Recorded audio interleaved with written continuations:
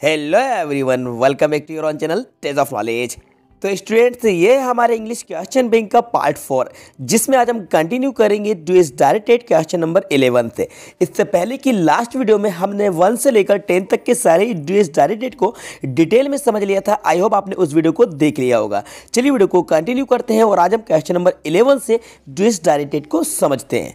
तो देखिए बच्चों, ये ड्यूएस डायरेक्टेड है और क्वेश्चन नंबर इलेवन है। तो हम इसको समझ लेते हैं। इसमें आपसे पूछा जा रहा है कि rearrange the words to make a meaningful sentence मतलब कि यहाँ पर ये जो वर्ड्स दिए गए, इनको आपको रीअरेंज कर देना है और एक सेंटेंस बना देना है जिसका कोई मीनिंग निकले, जिसका कोई मतलब निकले।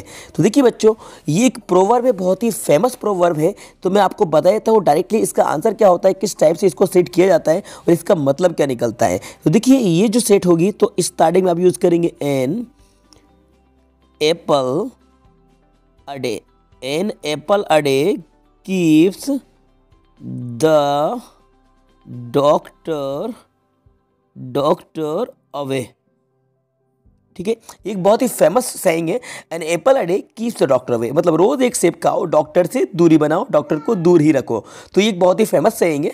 तो इसको आप इस तरीके से रीअरेंज करेंगे, जिसका कोई मीनिंगफुल मतलब कि मीनिंग निकलेगा जिसका कुछ अर्थ निकलेगा। ठीक है बच्चों? इसको जल्दी से नोट कर लीजिए या फिर स्क्रीन ले लीजिएगा। राइटिंग ज़्यादा अच्छी नहीं है तो आप नोट कर लीजिएगा। जो भी मैं आपको एक्सप्लेन करा रहा हूँ, अपनी नोटबुक में आप नोट करते जाइए। जल्दी से पेन ले लीजिए और जल्दी से इन सबको ही आप नोट करते जाइए। ओके बच्चों? कर लेना? वेरी गुड चलिए, आगे बढ़ते हैं। क्वेश्चन नंबर ट्वेल्व की तरफ़। तो देखिए बच्चों, हम आ जाते हैं क्वेश्चन नंबर ट्वेल्व तो ये रहा हमारा क्वेश्चन नंबर ट्वेल्व इसमें देखिए आपसे कह रहे हैं he does his duty well change into negative ठीक है ना बच्चों? तो आपको इसको निगेटिव में चेंज कर देना। तो देखिए बच्चों, कैसे बनेगा इसका निगेटिव स्टार्टिंग में हम यूज़ करेंगे ही देन हम लगाएँगे हेल्पिंग वर्ब डज देन आप लगा दीजिए not he does not do his last में यहाँ पे लिख दीजिए ड्यूटी और लिख दीजिए वेल ठीक है?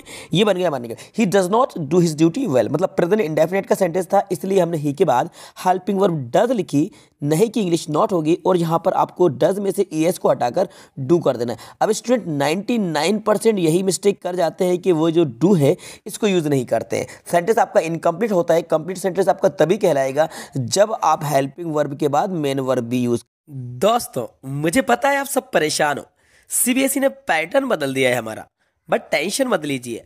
मज़े की बात यह है कि पूरा पैटर्न ऑब्जेक्टिव हो गया।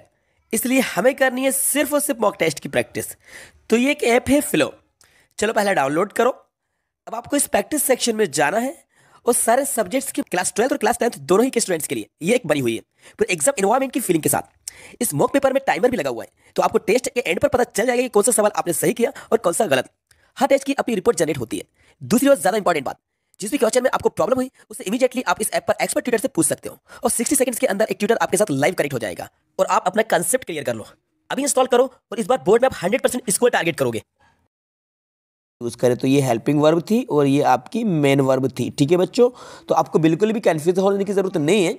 आप स्टार्टिंग में यहाँ से ही से शुरू करके लिख दीजिएगा he does not do his duty well ये इसका करेक्ट आंसर होगा। ओके स्टूडेंट्स चलिए move for the next sentence तो हमारा नेक्स्ट एग्ज़ाम्पल है the fan is high I can not touch combine using so that so का use करते हुए आपको कंबाइन करना है। तो देखिए करना क्या होगा आपको? ये जो हाई लिखा है ना हाई के बिफोर आप लगा दीजिए सो हाई के बिफोर लग जाएगा सो और दोनों ही सेंटेंस के बीच में लग जाएगा दैट तो बन जाएगा the fan is so high that I can not touch the fan is so high that I can not touch मतलब कि फेन इतना ऊँचा है कि मैं इसे छू नहीं सकता। ठीक है बच्चों? क्लियर हुआ ना? हाई के पहले आ जाएगा। सो so, और उसके बाद आप फुल स्टॉप के बाद लगा दीजिए। दैट मतलब यूँ समझ लीजिए कि दोनों ही सेंटेंस के बीच में दैट लग जाएगा। ठीक है? क्लियर हुआ ना? नोट कर लीजिएगा आप। अब आते हैं क्वेश्चन नंबर फोर्टीन की तरफ़। देखिए हमारा क्वेश्चन नंबर फोर्टीन है। If you do not work hard you will hardly pass this exam rewrite using unless in place of if मतलब आपको इफ़ के प्लेस पर अनलेस का यूज़ करके इसको रिराइट कर देना है, ठीक है? तो देखिए बच्चों, मैं आपको बता दूँ किस टाइप से ये इफ़ के प्लेस पर अनलेस का यूज़ होगा। इसका एक रूल है, मैंने आपको सेपरेटली एक वीडियो में बताया था कि अगर इफ़ वाला जो सेंटेंस है वो निगेटिव है तो आपको उसको अफर्मेटिव बनाना होता है और अगर पहले से ही सेंटेंस अफर्मेटिव है तो बाद वाले को आपको निगेटिव बनाना होता है। दोनों में से कोई एक काम होता है। सेंटेंस इफ़ वाला अगर निगेटिव है तो आप उसको अफर्मेटिव बना दीजिए। अगर अफर्मेटिव है तो आप बाद वाले को निगेटिव बना दीजिए मतलब दूसरे वाले सेंटेंस को। ठीक है? दोनों में से एक काम आपको करना होता है। तो अब देखिए क्या करेंगे हम यहाँ पे।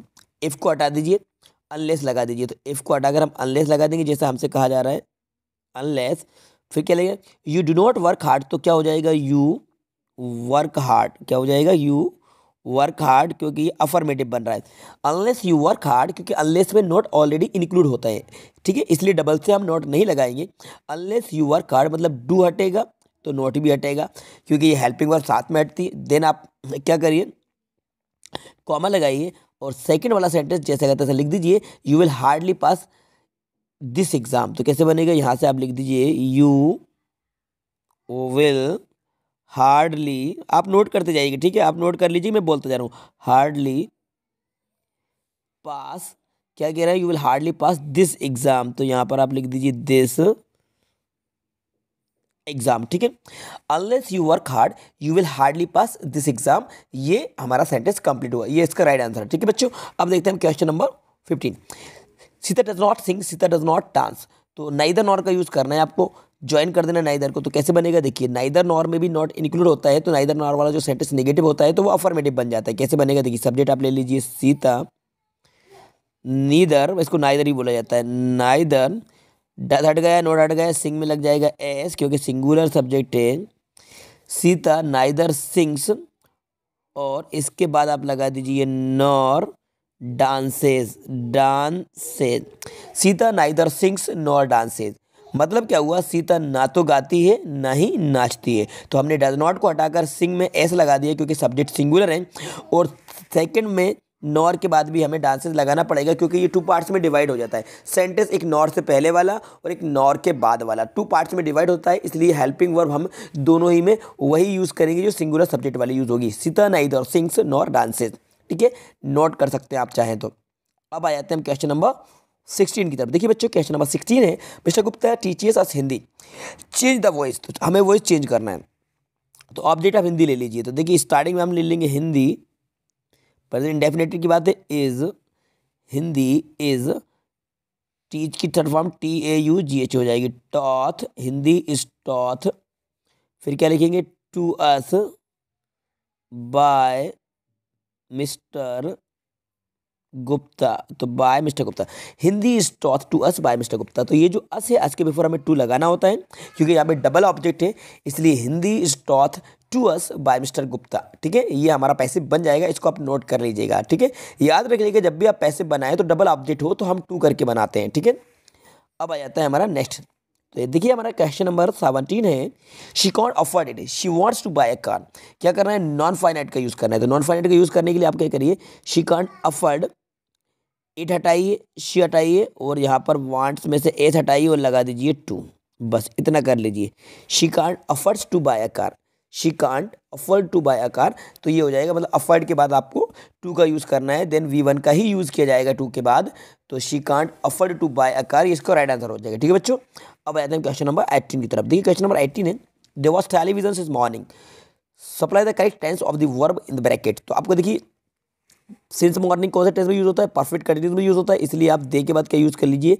They have been they have been और वॉच में आप लगा दीजिए watching they have been watching television they have been watching television since morning ठीक है?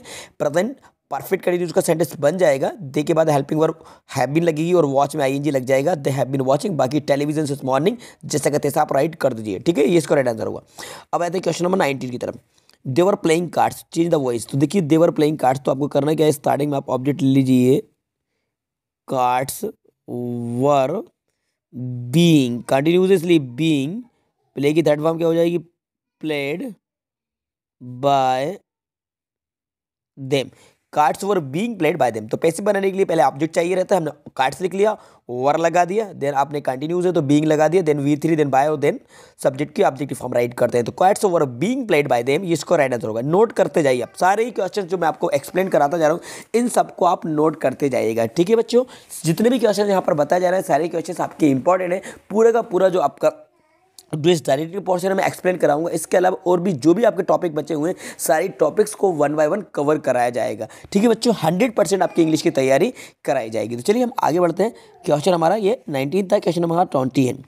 We saw a very good movie together we saw a very good movie together ठीक है? Change the voice तो देखिए, आपको पहले ऑब्जेक्ट लेना है तो ऑब्जेक्ट पूरा का पूरा यहाँ से उठकर चला जाएगा अ वेरी गुड मूवी ठीक है? तो मैं आपको राइट करके बता देता हूँ तो यहाँ पर आप देख लीजिए अ वेरी गुड मूवी, ठीक है? A very good movie past की बात है तो आ जाएगा वॉज़ वॉज़ और यहाँ पे seen a very good movie was seen फिर क्या था? बाय अस और टुगेदर इसके बाद लिख दीजिए टुगेदर ऐसा जैसा का तैसा लिख जाएँगे. A very good movie was seen by us together ठीक है? ये हमारा बन गया क्या? पैसे बोए ठीक है we saw a very good movie together तो पैसे बनेगा a very good movie was seen by us together ठीक है बच्चों? तो ये मैंने आपको ट्वेंटी तक आज एक्सप्लेन करा दिए हैं। मतलब कि इलेवन से लेकर ट्वेंटी तक हमने जो इस डायरेक्टेड को डिटेल में समझ लिया है। अब इसके बाद नेक्स्ट वीडियो में हम ट्वेंटी वन से कंटिन्यू करेंगे। आई होप ये वीडियो आपको पसंद आई होगी और सारे आपके डाउट्स क्लियर हुए होंगे। तो इस वीडियो को लाइक कर दीजिएगा, अपने सारे दोस्तों को ज़्यादा ज़्यादा शेयर कर दीजिएगा। और यदि चैनल पर नए तो चैनल को सब्सक्राइब कर लीजिएगा और एक भी वीडियो को मिस नहीं कीजिएगा। अगर आपने जितनी भी वीडियोज़ हैं देखी हैं तो बहुत अच्छी बात है। अगर किसी भी वीडियो को मिस किया है तो पहले जाकर आप उन वीडियोज़ को देख लीजिए। क्योंकि पूरी की पूरी एक सीरीज़ चलाई जा रही है। और आपके जितने भी क्वेश्चन बैंक में जो क्वेश्चन अपलोड किए गए इंग्लिश के, सारे क्वेश्चन को यहाँ पर एक्सप्लेन कराया जाएगा। इसलिए देखते रहिए, सीखते रहिए। Thanks for watching